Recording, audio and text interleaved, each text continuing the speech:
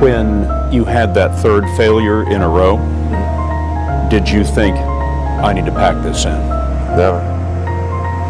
Why not? I don't ever give up.